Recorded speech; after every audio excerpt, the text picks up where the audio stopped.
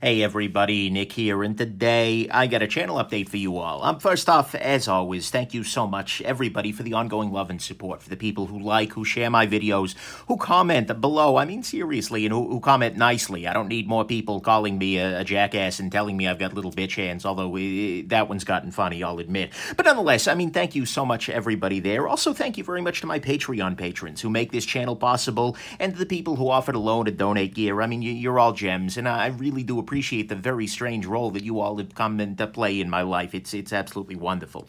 Uh, but anyways, I got a couple of updates I wanted to talk about real quick, and so let's let's jump into it. Um, to start with, I am probably a couple of weeks away from hitting 50,000 subscribers, which, mind you, is about 49,999 more than I ever expected to have. So um, that that's pretty cool. Um, I've got some ideas as to how we can celebrate that. Um, I'm working on that one, but nonetheless, um, yeah, there you go. Um, Thank you. Again, that's, I guess, all I can say there. Next thing, um, big news in my own personal life. As many of you guys know, I am located in the Michigan, uh, which is in the, the, the U.S. of the A, uh, with the mitten. Um, I'm, I'm, I'm, about here in the, the, the mitten there. Um, and the uh, the thing is, I, I like it here, but I'm not all that smitten with the mitten. And uh, I have just gotten a, a very, very, very good job. What basically amounts to a dream job for me in my world, in my field. Um, and that job is bringing me to scenic San Diego, California. That's right, California love, baby. Um, so, uh, anyways, all the Tupac references aside, um, this is going to be a huge step up for me in my, my personal career, and frankly, just an absolutely beautiful thing for, for the wife as well. Uh, that's right, she's the wife, in case you missed that one. But anyways, um, this means, uh, the, the reason I'm announcing this is two things. Um, to start with, my P.O. box is going to be changing. So any of you guys who just send gear randomly, um, you're going to want to get, uh, hit me up for a new P.O. box. That's going to be a thing. Um, and it also means the actually, although a lot of people are to say, "Oh my God, California, he can't review anything anymore." Actually, practically speaking, the knife laws in San Diego are not uh, much different from here. In fact, they are slightly less restrictive in most ways. Ah, pardon me, the only area where the laws there are more restrictive is that I can't have any automatics over two inches anyways. And considering that uh, I didn't have any automatics at all until October of last year and I got along fine, I'm pretty okay with that. And there's some nice under two inch automatics here. Pro-Tech's Sprint, by the way. But uh, hence the series of California legal automatic reviews. Uh, that should be a beautiful thing. But um, this job is also going to take up a little bit more of my time, which actually brings me to my next point here. And don't worry, guys, I'm not going away. Um, but uh, what I am going to be doing is, as I'm finding myself lacking time, I'm going to shift my focus a little bit more here. Um, as I've had, you know, I've got more and more wonderful offers than I have ever had, but I also have less time than ever to address them in. I mean, lately's been busy with, you know, weddings, honeymoons, Scotland, by the way, full review coming up shortly shortly, um, as well as just preparing for a new job and then starting a new job. That's going to be a whole different world. Um, but uh, so I have all this wonderful gear around and less time than ever to spend on it. And, you know, for a long time, uh, this is a market departure because for a long time, I would review pretty much anything that came across my table. Like if it ended up there, whether due to a loan, whether due to a donation, whether due to some company sending it to me for free, like, yeah, sure, good, great, bad, and ugly, let's have a look. And that, that, that was great in a lot of ways, and I really do at some level wish I could keep it up. And in fact, some people wish that too. And in fact, some people have developed an expectation. Um, there is a genre of emails I get that are just, I can only describe as like angry requests, where people are like, Nick, how have you not reviewed this particular pocket knife yet? How, how do you not have a review of the Alpenflame EF2832 in the half serrated blade? How dare you? I, like, yeah, I, I get it. I'd, I'd, love to see that review too. But yeah, um. So, anyways, uh, that that that's my prior uh, kind of reviewing a bunch of things, and I've reviewed a bunch of things, has led to this expectation. But the thing is, this channel is not an encyclopedia. No channel is. And frankly, I'm realizing that even at full tilt, if I quit my day job and had access to all the gear in the world, I just couldn't keep up. I couldn't carry enough knives in the week. I, I We Knives releases more knives every week than I can carry every week. I mean, it's it's kind of nuts. And so this is a part of why I've been doing things like the Knife Gripe series on Knife News, which is still up, by the way, although it's finished up now, um, as well as my knife, uh, my excellent pocket knife checklist here, which is uh, a lot of damage, but uh, right over here. Can get it at nickshabazz.com slash checklist. Uh, but these are kinds of things that you can bring with you to a store. You can look online and just, and that'll help you maybe get a sense, especially if you're new to the knife game. Uh, you know, this is going to be worth a damn. This might not be worth your time. But anyways, I've tried to do a little bit more of that. But the thing is, this is not my day job. It never has been. Um, what it has been is my weekend job. I mean, in fact, nearly every weekend, pretty much all the Saturday and a good chunk of Sunday has been dedicated to the channel. And I've used, you know, evenings and breaks at work for social media for it. I mean, it's great, but uh, right now it's just not super sustainable. And the problem with uh, with it is that as I get more loans, particularly uh, the, the piled up gear can be a very weird kind of stress. Now, don't get me wrong. I'm a lucky man. I don't want to sound like, oh God, woe is me. My life is no. That's not what I'm saying here. Um, it's just the fact that I want to get things back to their rightful owners. I want to get things moved along, and I want to move on to other interesting things. Um, and so I'm realizing more and more that the gotta catch 'em all sort of approach, although great for Pokemon, is not great for my sanity, however tenuous that is. And so what this means is that I'm going to be a little bit more choosy from here on out. Uh, my goal in my new pattern, and this has been my pattern for the last few months anyways, has been to really focus my efforts where I expect there to be gems. Um, you know, a good miner, like miner is in somebody with a pickaxe rather than miner is in somebody under 18. I don't particularly care what they do. Um, but they're choosy about the ground. If you decide I'm going to be a gold miner, you don't walk out of the out your front door in a suburban you know development and start digging. No, it's a bad approach. If you, you look at the area, you figure out okay, if I dig here, it's really likely I'm going to hit diamonds or rubies or gold or whatever the heck you're looking for, molybdenum. Sure, go for molybdenum. But I, I my goal here is to be a little choosier about the ground that I'm looking at. Uh, to, to, to be a little more careful about what comes across my table, so that when I am spending the time to review something, it's more likely to be excellent. And so I'm going to use a bunch of criteria. I mean, some of it I already do. Like if I see a knife and I, I love it, I'm like, oh yeah, I want that and I, I, get it on my table. I'm also favoring increasingly unique, new, and interesting gear. I mean, look, uh, another gray-handled frame lock with a harpoon blade this time is cool, but it's also not at the front of my list. Same thing with, like, steel changes. Like, wow, they put out a Spyderco PM2 and some other weird steel. I mean, that's cool, but it's not super interesting. I'm more interested in things like this. This is the Demko Knives AD15, which uses an entirely different locking mechanism than anything else, and actually turns out to be really, really compelling.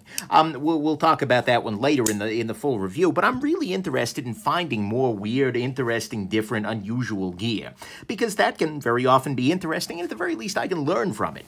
I'm, I'm also interested in gear that I'm curious about well outside my comfort zone, because I don't want to get locked into the box that I I've put myself in. You know, this guy is not an Nick Shabazz knife, classically speaking. It's gigantic, it's uh, overbuilt, etc. It still cuts, though. But anyways, um, so I'm really trying to kind of keep uh, keep an eye on that. I mean, a great example of this is the Hinderer Full Track. Uh, this is Rick Hinderer Knives. They have released this new knife, or at least they, they've announced it, that has uh, three different approaches. You can have it running on phosphor bronze, Teflon, or bearings in the exact same knife, and you can keep the other washers on the inside of the knife, and the tool is built into the back. Like, guys, God, do I want that? That's new, it's weird, it's unique, and I want it on my table like freaking now. So the moment they're available, yeah, you'll see one here. But I'm also going to be using things like recommendations. I have a number of trusted friends in and outside the knife community who, who just, I, I, know their taste. Like a buddy of mine said at Blade Show, Nick, you got to check out the mini glimpse. It's pretty awesome. So I said, yes, I do, and I had him buy for me, and so there you go. Um, Things like uh, recommendations from Patreon patrons. Um, You know, that's one of the ways that I can kind of give them uh, some joy is you know, let I have a section patrons pick for the Nick, where they choose what I what I uh, you know pick up, what I carry, etc. They're the reason I'm going to be wearing a Mickey Mouse watch here pretty soon. Double-edged sword that one, but still. And then also recommendations just from random jackasses, particularly random jackasses in groups. I mean, if one guy says, "Oh, I want to see a review of the Alpen Alpenheap," you know, HD 2834892 yeah, there was a niner in there. Um, eh, that, that's cool, but if 15 people ask me for that, I'm more likely to go for that. Um, so anyways, there you go. I'm also really interested in finding new companies that are doing really exceptional work. Um, these are the people that are, like, for instance, North Arm Knives is a good example of this. Um, they, not that many people had heard of them or worked with them, but it turns out they're making incredible knives, and so I want to find those folks. A Holt Blade Works is another example of this. Incredible, incredible work. Review of that is coming actually very, very soon. Um, uh, Booze Blades, Monta Watches, all kinds of different people who are willing to do really good stuff and who you probably haven't heard of. there are a million reviews in New ZT. There may not be for these folks. So I'm probably going to try and set up, you know, ways to find good small companies, that kind of thing. Also, you know, I'll look at products that make a, a big new splash. You know, the, the brand new ZT model. Yeah, I'm going to check that out just because, you know, yeah, brand new things from like a Spyderco, the Kershaw. The exciting releases, yeah, absolutely. I'll check that out. And, you know, also I want to focus more on designers and companies that I, I suspect that are going to be worth a damn. Um, rather than just kind of accepting anything that people are willing to send along. There have been way too many mediocre knives sent my way that only end up on the table because they're free. And it's like I'm looking at them like, yeah, it's going to be mediocre. And indeed they were. And that's, I don't know, that feels like a bit of a waste of time. And I've already been doing this to an extent. I've been turning down gear where I see like huge glaring flaws immediately. Sometimes somebody will send me something, and not for like a stealth review. I'm still happy to do those. But uh, where, where they want like a full review, and I'm just looking at it like, God, look at the, look, at the huge design flaw there, guy. Yeah, do you not see this? And then I pointed out to them like, no, that's a that's a feature. Like, no, it's not, you idiot. Anyways, I don't say that part, but still, I'm, I'm also turning down uh, more, more and more freebies. I'm paring down on kind of gambles, particularly from untrusted brands. People ask me you know, all the time, Nick, oh, this new micro brand has this great new lineup of 18 different knives, and I, have heard they're really cool. Like, yeah, I'd love to do that, but I, I just don't, I don't have the time there. I'd rather focus on somebody I know is going to be good, or at least I strongly suspect, rather than just testing the waters there. And I've even gone so far as to ban some companies that are just shipping a lot of crap, where it's just like, for instance, Stedemon you will never see on my channel again. I'm done. And Vu King and all of their various subsidiaries, they, they, they, they're just selling bad knives, so I'm not even ever going to bother with them. And, you know, also when companies are being inconsistent, they slip lower in my list. There have been companies where it's just like, okay, a lot of people are getting a lot of really so-so knives off of you. I, I don't feel the need to spend it. Anyways, so I've been doing this to an extent, but yeah, this is a thing. Partly, I think this is to improve the channel. Um, because, you know, when I'm saying things like, uh, you know, a boring review is like, yep, you look at it, the frame one, uh, this is probably going to be bad, and hey, look, it's bad. I mean, that's fine, you know, but uh, that's not the kind of review I'm most interested in. I'm more interested in, this is amazing, and you may not have heard about it. Like this kind of thing. Like, you don't know, uh, you probably don't suspect that this is incredible, but it really, really is. And here's why. Those are more fun. I'd rather be a place that you go to find out about really really great gear than a, a, place to go to find out that, yeah, that mediocre looking gear is pretty mediocre. Um, and partly this is for my own tenuous sanity, because I want to carry and use great gear. I'm, I'm going to be honest with you. I want to be looking at gear that I'm enthusiastic about, that I'm passionate about, that I'm curious about, or that just is like tickling my fancy. Whether, even if it's something that, like, I know that this probably isn't for me, but I really want to try, that, that those are the kinds of things I'm interested in. I am tired of carrying poor tools just to confirm that they are poor tools. I mean, a freaking, you know, Kershaw Emerson is like, yeah, okay, it's a Emerson that's built like a Kershaw. Well, I guess they all are. But anyways, that, that, that's not my focus here. I want to spend more time focusing on longer use. I want to spend more time focusing on interesting gear. And I want to spend less time, you know, okay, I got to power through this knife that I'm really interested in talking more about so I can get on to the next gray frame lock. This one's got a harpoon blade. Hooray. That's not my style. So, um, that's kind of where I'm going with things. Now, I want to make a couple of things clear here, and I'm sorry, this is going on a little ways, but it's a thing. Um, I, this doesn't mean that I'm going to stop giving negative reviews. Do not believe that. Um, in fact, nothing is more uh, useful in my mind that, from a reviewer than a truthful review of something that looks like it's going to be great, but actually surprisingly isn't. Those, to, to me, what, uh, when I dodge a bullet, when there's something where it's like, wow, this has every indication of excellence, but indeed it sucks, that's where I really enjoy and appreciate a review. Um, and I will always be giving you the good, the great, the bad, and the ugly, or whatever's coming across my table. Um, uh, because there is always good, great, bad, and, well, there's usually ugly too. Um, and that's, that's just a simple fact. It also doesn't mean I'm going to be abandoning budget gear. Don't hear this as, no, I'm going up market. No, that's not my interest. I love nothing more than finding great gear at really good values. That's, that's absolutely excellent. This pen, for instance, uh, the, the Machine Era, this guy's in my pocket today. Machine Era Classic Pen is actually relatively inexpensive and pretty damned excellent. So, you know, those kinds of things, I, I, I definitely want to keep going there. And, uh, you know, yeah, so, uh, and I'm not also, by the way, don't feel like, oh, no, he's not going to talk about Sea Hunters anymore. No, I'll find time for the true crap. But it's the mediocrity that I'm kind of done with here. Uh, and just going to be a little more choosy. Like I said, focusing on finding the gems rather than confirming that dirt is dirt. And bringing you guys, ideally, more hits than misses, more gems than junk, because my sanity, whatever extent it's there, is, at least to me, slightly valuable. I'm also hoping to use the time that this frees up to do some more new things. More videos videos on kind of categories that I love. A lot of people ask me to do things, because I used to do videos like, you know, Nick's take on Spyderco knives. Like, I'd love to do Nick's take on Reate knives, Todd Begg, those kinds of things, and spend a little bit more time on those kinds of things. More ideas about philosophy, like, I think a great video would be why carry a flashlight? Why do you wear a watch in 2018 when your cell phone works just fine? What kind of freaking nutter is spending four times the cost of a cell phone on a watch? Uh, this kind, sadly more deep dives in specific areas, trying to find greatest small businesses, great uh, budget year.